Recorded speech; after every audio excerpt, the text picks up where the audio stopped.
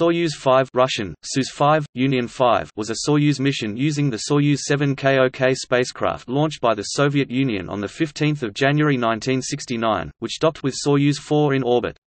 It was the first docking of two-man spacecraft of any nation, and the first transfer of crew from one space vehicle to another of any nation, the only time a transfer was accomplished with a spacewalk, two months before the U.S. Apollo 9 mission performed the first internal crew transfer.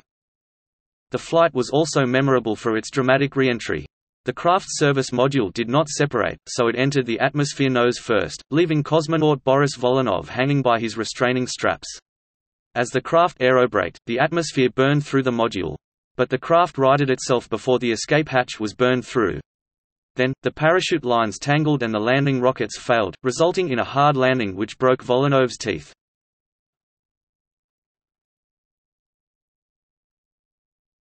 Topic: Crew.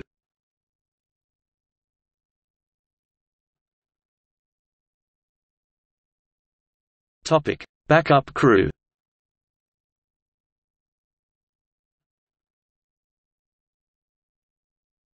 Topic: Reserve crew.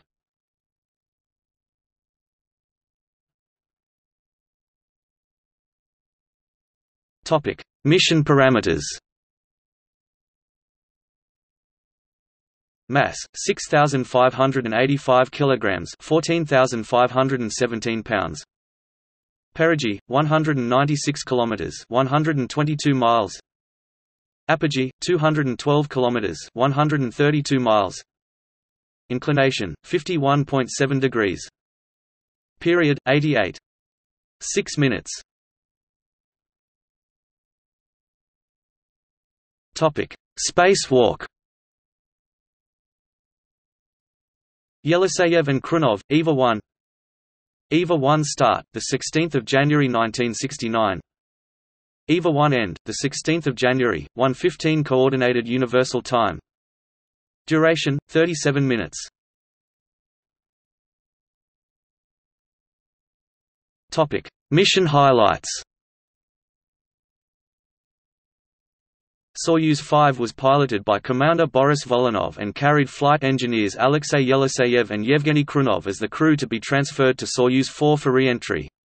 The mission plan contained scientific, technical, and medical biological research, testing of spacecraft systems and design elements, docking of piloted spacecraft, and transfer of cosmonauts from one craft to another in orbit. Volynov remained behind on Soyuz 5, and returned to Earth in a remarkable re-entry. The service module of the Soyuz failed to separate after retrofire, but by that point it was too late to abort.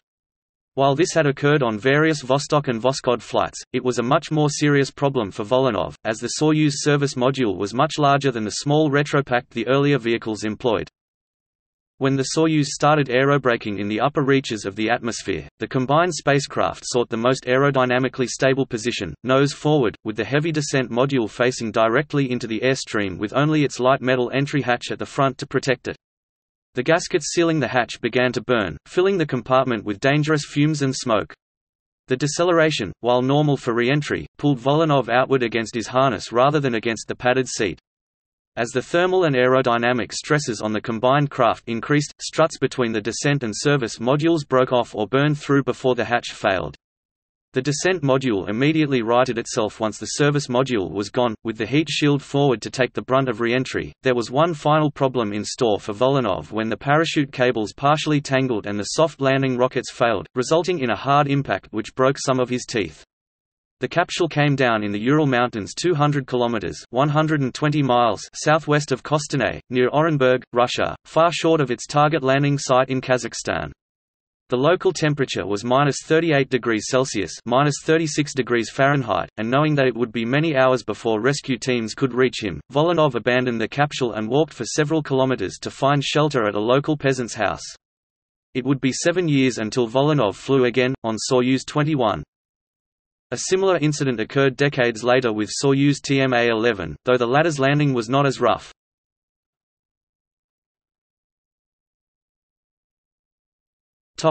EVA details The mission had extravehicular activity EVA objectives similar to those planned for Apollo 9. Soyuz 4 launched first, and was the active vehicle in the docking with Soyuz 5. The news agency TASS stated that, "...there was a mutual mechanical coupling of the ships, and their electrical circuits were connected. Thus, the world's first experimental cosmic station with four compartments for the crew was assembled and began functioning." Moscow TV carried the cosmonauts' EVA preparations live.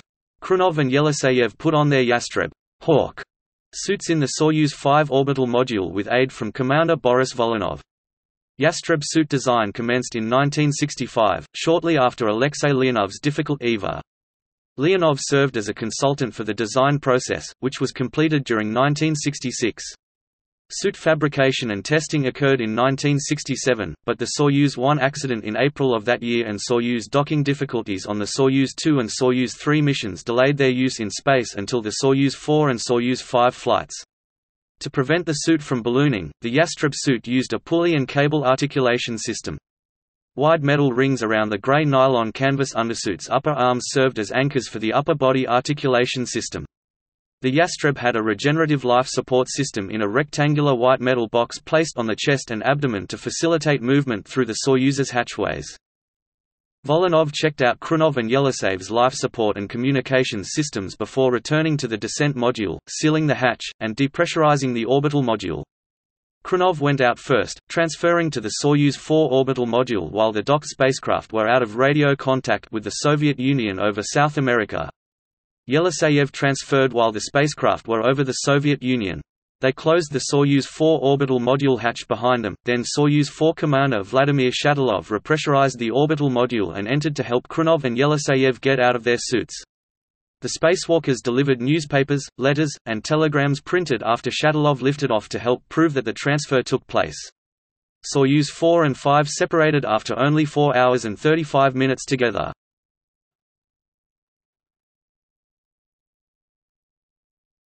Topic. See also.